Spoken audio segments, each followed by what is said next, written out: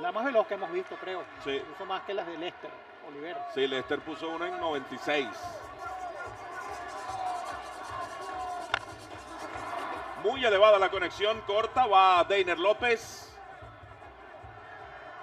Se le cayó la bola, no pudo atrapar Gorkis Hernández que creía que era out, ahora reanuda su carrera y llega a la segunda.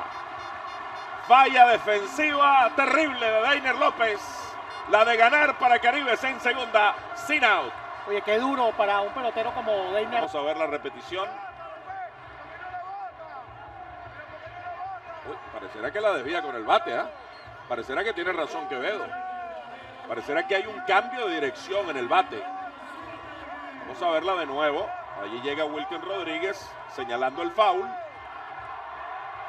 Y ahora votan a Johan Quevedo, el catcher, y, y Lara se quedó sin catcher porque Francisco Arcia ya jugó y ya salió del juego. Sí, le, le- Y el otro que puede quechar es Osmar Cordero y ya no está tampoco. Fíjate, allí me parece que hay un cambio de dirección en la, en la pelota cuando muestra el toque Eduardo Sosa. Increíble. ¿Quién va a quechar ahora aquí? Tuvimos cuatro juegos en sana paz, con calma, bien. lle- Cambia la cosa ahora porque llega el bateador de más contacto no solo en la Liga Venezolana de Béisbol Profesional, en el béisbol. En grandes ligas, el asombro era tremendo. Comenzaron a hacer estudios sobre el contacto de William Sastudillo.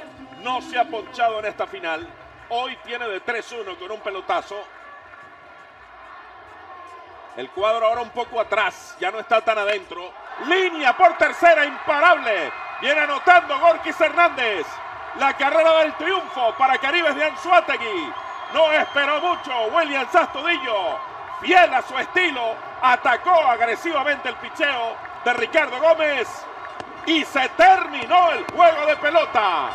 Victoria dramática para Caribes de Anzuategui de tres carreras por dos sobre Cardenales de Lara y así justamente queda esta gran serie final.